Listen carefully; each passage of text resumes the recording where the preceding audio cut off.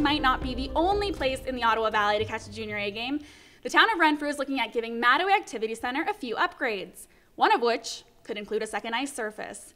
Now, if that second ice pad is put in, the Kanata Lasers will be relocating their Junior A team here for the 2018-2019 season. They've already committed to play six home games here for the upcoming 2017-2018 season.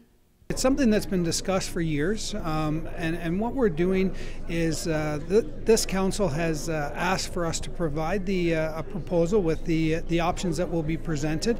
Um, the options presented will be uh, uh, the first option will be that of a, an expanded uh, recreation facility as well as a recreation center, I'm sorry, and a, a second ice surface.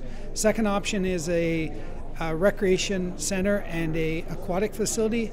And the third option is a recreation facility, second ice surface, and an aquatic facility. There were two information sessions held at Ma-Te-Way, and a full presentation was also presented to Council about the possibilities for the Activity Center. Both information sessions were packed and full of opinions. Corey Greer, who is the president of the Lasers, has wanted to relocate the team to the Ottawa Valley for some time now and is actually a Renfrew resident, so moving the team to his hometown seems like it would be a perfect fit. He was able to give me a quick comment about the prospect of the relocation. We are very excited about the possibility of the move to Renfrew provided the ice and facility can be supplied as needed to do so.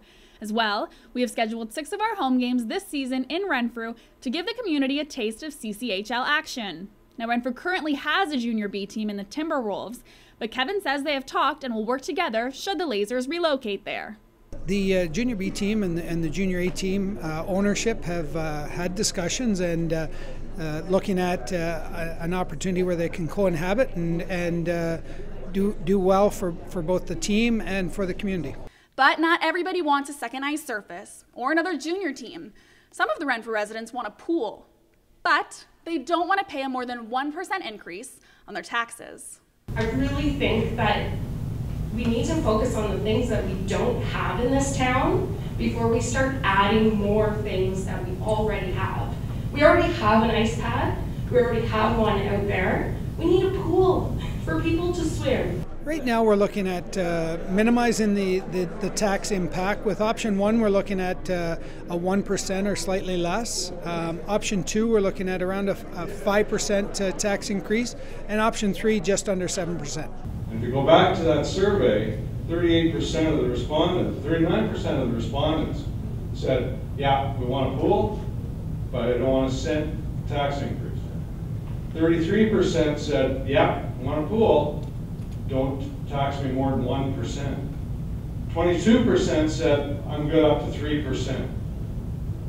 So over 60% of the population at that time, 60, 70%, said, don't increase taxes over 1%.